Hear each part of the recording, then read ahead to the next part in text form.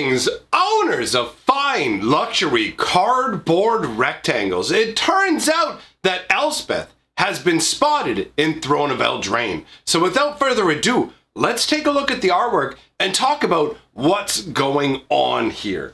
So as you can see, I mean, if you know who Elspeth is, you, the people who are familiar with the whole lore of Theros and all that, they will recognize Elspeth very easily. I mean, who else could this be? Set against some sort of darkened night sky. I personally am pretty excited to see this. Now, if you're wondering specifically where this artwork comes from, what it's doing in Throne of Eldraine, this is on the back of tokens. So essentially it's the Theros Beyond Death Heroes Persevere token. Not token, but uh, like ad insert on the back of a token.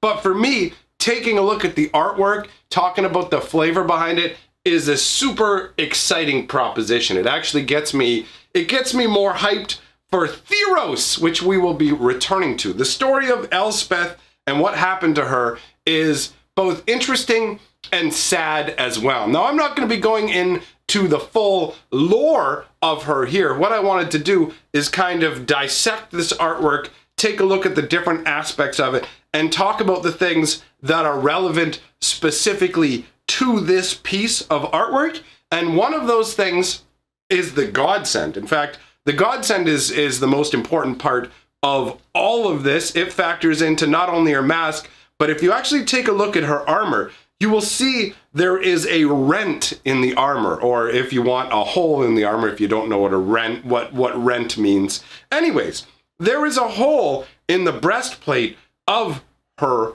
armor. How did that happen? What is with the mask she's holding? What what exactly is going on here? And why is it called Theros Beyond Death?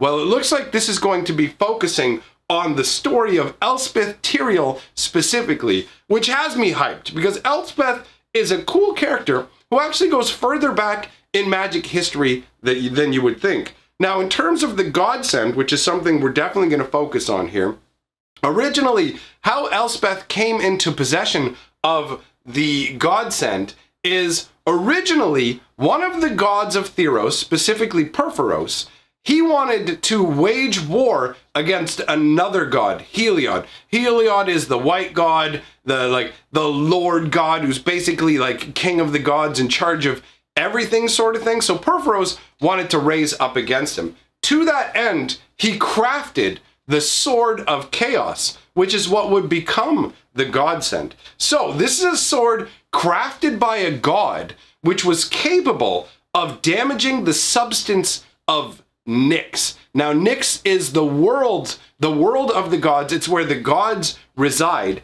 And you will notice on cards like Starfield Mystic from 2020, actually, they've got that Nyxian kind of feel to it. Basically, how the Nyx concept works is you would see it with enchantment creatures, you would see it with the gods. Anywhere where shadows would normally fall, any area that would be shadowed is instead shown as like a starry night sky, as if these creatures, these gods, are made up of the night sky itself. Now, most things can't harm this God stuff, this creation of the gods and what they are made of. Normally, there's not much that can damage it.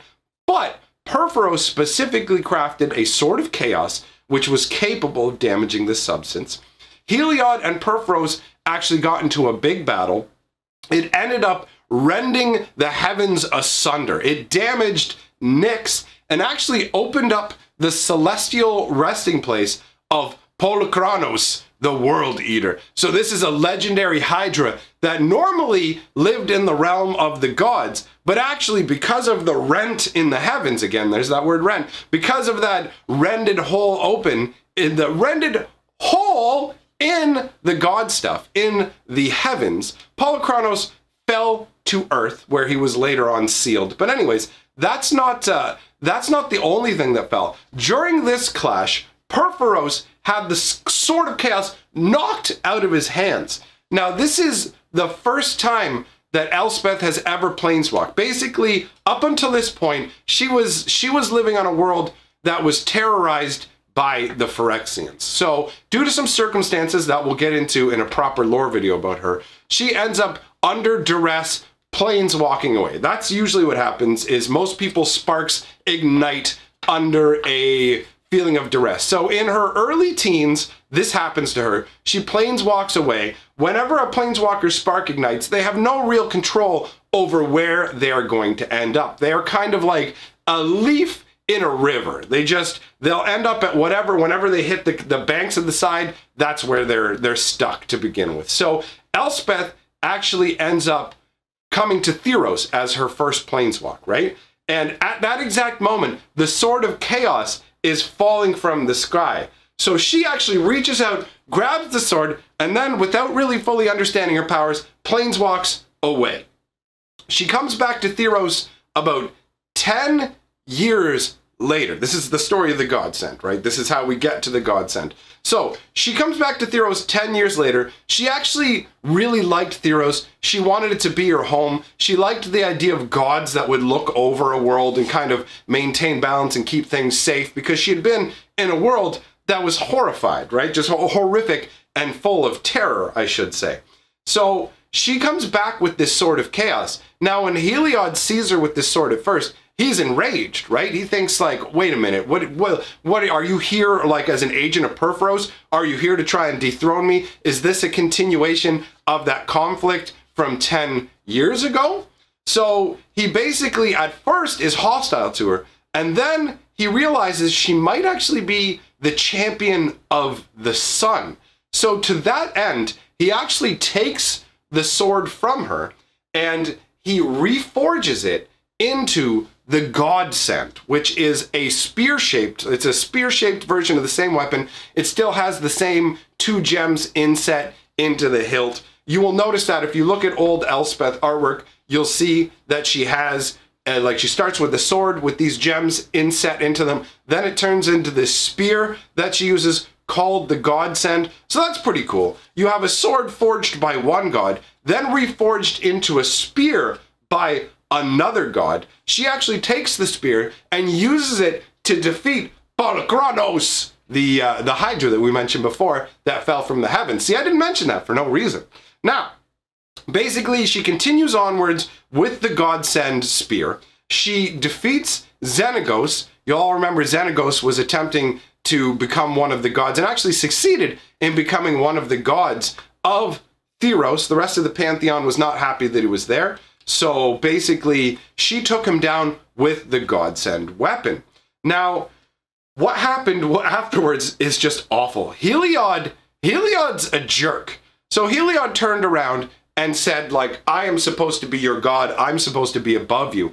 But because Elspeth is a planeswalker and had been to places that Heliod could never tread to because even though he was a god, in some ways Elspeth was more powerful than him. Well, Heliod had what some gods in some mythology have a certain level of vanity, and he couldn't handle the concept of her knowing more than he did and having seen places that he didn't know. So he actually, instead of rewarding her for taking out Xenagos, he takes the sword spear and he stabs her in the chest with it. And the godsend actually shatters. So basically, he jams it into her, and the godsend shatters into fragments. So when you look at the hole in the breastplate there, that's actually where the godsend was slid into her and exploded into chunks, right? So Delspeth, Delspeth, that's apparently what you call the dying Elspeth. So Elspeth here is dying, but she's on the world of Theros, right? If she was if she was up in the lands of Nyx, like if she was up in the god realm, things would have gone differently. For example, Xenagos doesn't get to go to the underworld because of where he was slain.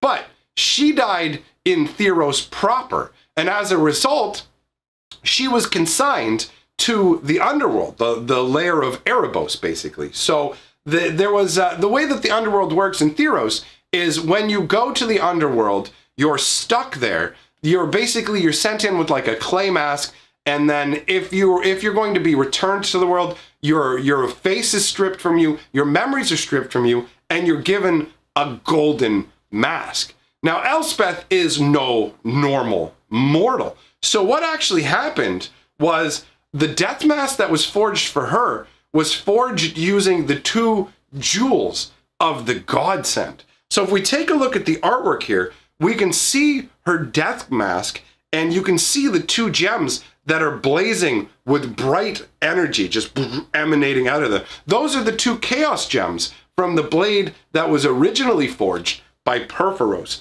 So you have her standing there with this determined, resolute look on her face. The mask is not encompassing the entirety of her face. You can see as well that she has retained her face and, most likely, all of her memories. She is probably going to re be returning with complete knowledge of what happened to her. So I imagine that this means the storyline of Theros is going to be one of redemption and vengeance. Elspeth is going to return to the lands of Theros, walk amongst them, and eventually, I imagine, destroy Heliod, or Heliod, however you want to pronounce it, with the possibility of actually ascending to the Pantheon. Xenagos already illustrated that people can ascend their way to the Pantheon. And if Heliod gets destroyed, Theros is going to need a new white aligned god.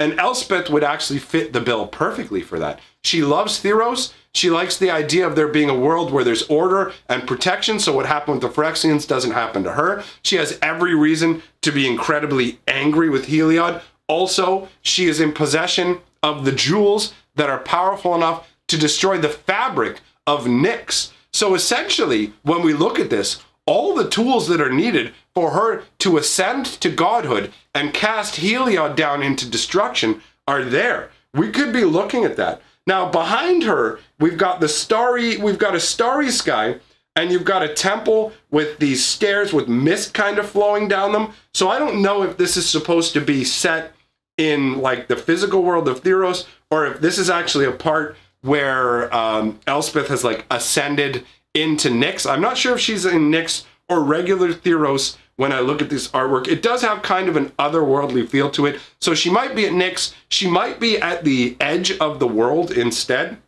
I'm curious to see whether this mask that she's holding is actually somewhat broken, you know, because when you look at it, you could go, okay, it might have been designed this way originally, or it might be a scenario where she actually had the mask fractured. It's not it's not 100% clear. I mean, when it comes to wizards and their lore and flavor and how they do everything, it's not always clear. But the reason that I, I think it's most likely a broken mask to a degree is because when they did the Mythic edition of um, when they did when what was it the mythic edition for? Honestly i can't remember which mythic edition was for but that doesn't matter. They did an elspeth knight errant and she is literally holding a mask and that mask is entirely forged. So my guess is that this is later in her journey. She's made her way to nyx. Part of the mask mask has been broken maybe this is her like triumphant moment actually where she has just